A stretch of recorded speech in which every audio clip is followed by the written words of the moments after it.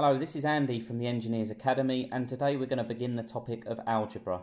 Now before we start looking at the first section of this topic on rearranging equations, I just wanted to take you through the information and equation sheet that's included for this particular topic.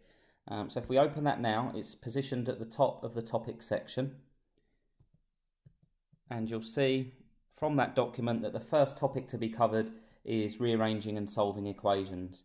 Now, what I've tried to do is simplify this as much as possible. So when we talk about rearranging and, and solving equations, there's some fundamental principles that we must stick by, and there are also some allowable operations that we can do when we solve and rearrange equations. So I'll run first of all through the fundamental principles and then I'll show you this in practice and then we'll talk about the allowable operations as well so you know what you can do and what you can apply on each side of an equation. So there are four fundamental principles. The first fundamental principle is that all equations have a left-hand side and a right-hand side separated by an equal sign. So for it to be an equation, it must include an equal sign, and therefore by having an equal sign, it has a left and a right-hand side.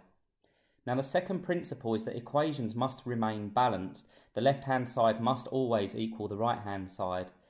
What that means is that any function or any operation we perform on the left-hand side of an equation we must also perform on the right hand side. Think of it as a set of weighing scales where anything we add to one side we must add to the other to keep it balanced. We could double the contents on the left hand side, but then we would have to double the contents on the right hand side to keep it balanced, and so on. And that principle also applies to equations. The third principle is any operation that's performed on the left hand side of the equation must be performed on the right hand side of the equation for it to remain balanced. And I've just given the example there of adding and multiplying the contents in a scale on the left and right hand side. So it's always useful to think back to this idea of an equation being like a set of scales that must remain balanced. We can't allow the scale to tip in one direction or the other by doing any operation to one side that we haven't also done to the other side. And number four there on the print on the fundamental principles is to rearrange an equation for a given variable we need to strip away all other numbers, terms and expression, leaving the variable on its own. Note this can only be done using the allowable operations below. When we start to look at some specific examples of how to rearrange equations, I'm going to use this terminology of stripping away other terms and expressions to leave the thing that we're trying to find on its own. And it's really useful to think of it like that because it helps us to structure um, the equations, but it also helps us to make decisions about what steps to do first in order to get that thing that we're trying to find on its own. So next up we've got the allowable operations. Now these are the things that you can do to each side of an equation and this isn't an exhaustive list. There are more of these that we'll cover when we look at topics such as um, logarithms. So there are additional ones that we can do. This is just a starting point so that you can start to rearrange and solve equations for yourself. So number one is you can add a number, term or expression to both sides of an equation.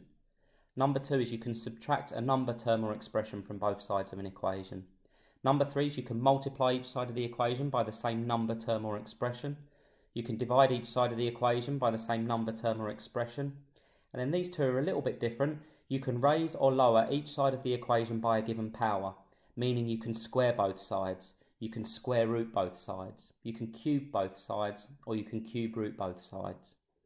And then number six there, this is a really useful little trick when the thing that we're trying to solve the equation for is on the bottom of a fraction and it's called taking reciprocals. Now we can take the reciprocal of the equation providing we do it to both the left and the right hand side.